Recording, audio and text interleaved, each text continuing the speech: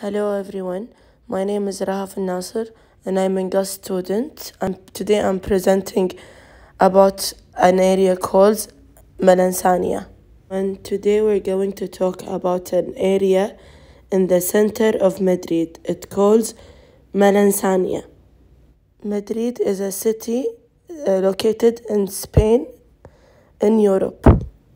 And Malasaña is associated with a creative and countercultural scene. Malasaña is named after a 15 years old girl, Manuela Malasaña, who once lived in San Andreas Street.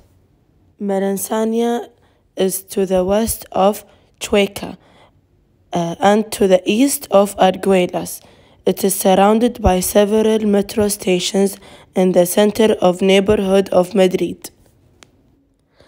As you can see in the pictures, Malasaña is a very colorful area. It's full with street art and colorful buildings, which makes it a very nice place for tourists to come and visit. And if you're interested with art and culture, uh, Malasaña is the perfect place.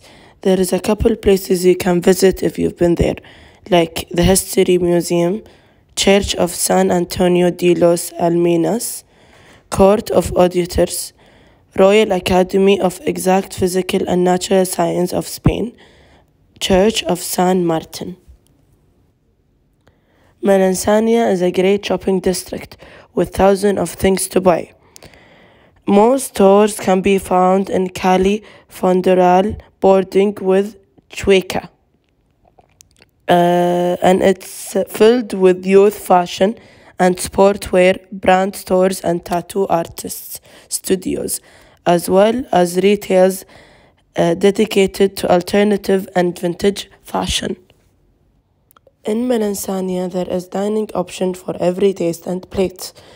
The food and drink is very famous in Malasaña, and there is uh, some restaurant shops that been open since the 1892.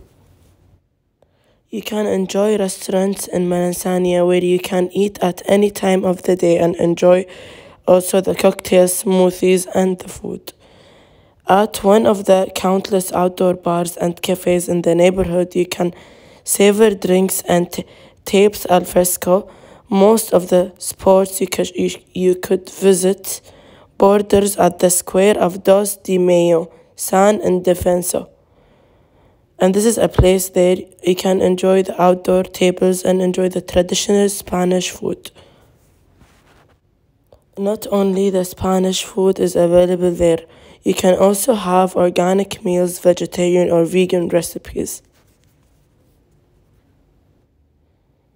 Nightlife is very famous also in Malasaña. Some of the bars and the area stay open until late night and you can stretch out the sound of different kind of music from rock, electronic music to pop um, that that can suit all kind of tastes.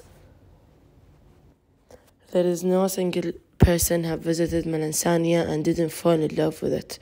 Malasaña is a very beautiful area and it's very highly recommended to visit. Everything beautiful you can find in umm Malasaña. History, art, culture, shopping, food, drinks, and also nightlife. The architecture in umm Malasaña is traditional but rather uniform, with most buildings ranging from 4 to 6 levels, 3 to 5 windows wide. Each building painted a uniform color almost all windows with French balconies and rare ornamentation. And thank you everyone. I hope you enjoyed this presentation.